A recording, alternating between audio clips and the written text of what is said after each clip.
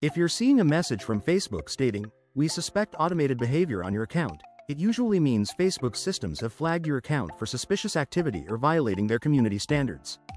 This could happen if you have been using third-party apps or tools that violate Facebook's terms of service or someone is trying to access your account. One solution is click on Dismiss and then log in to your Facebook account. Click on Profile at the top. Click on Security and Privacy. Under Account Center click on Password and Security. Under Account Settings click on Password and Security. Then change your Facebook password. If you recently used Facebook to log in to the apps or website then this might be creating the issue. So let's remove apps linked with Facebook. Click on your profile. Next click on Security and Privacy. After that click on Settings.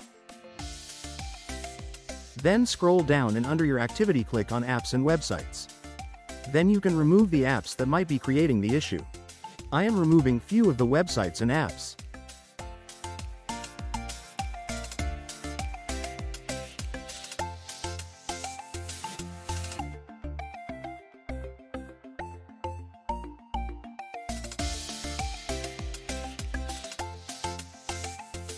Next you can set two-factor authentication. For this click on Profile. Then click on Security and Privacy. Click on Settings. Click on Password and Security. Again click on Password and Security. Click on Two-Factor Authentication.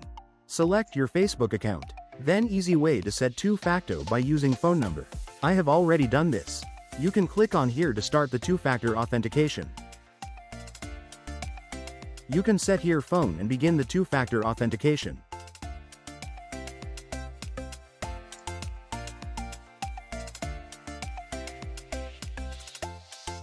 Next things you can do is remove saved login. Here come to the same menu under account and settings. Then click on saved login. If you find any suspicious login then just tab on it and it will auto log out from that account on that device.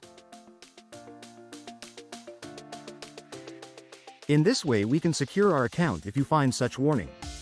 Hope you like this. Please like share and subscribe for similar videos. Also click on bell icon so that you will not miss any update.